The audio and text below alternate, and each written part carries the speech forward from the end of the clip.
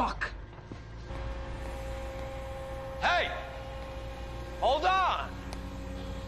Wait a fucking minute! You're the owner of this vehicle? Yeah. I got a spot in the garage. I went in for half an hour tops. Douchebags make that a red zone? It's a seizure order for all assets belonging to John Sacrimoni.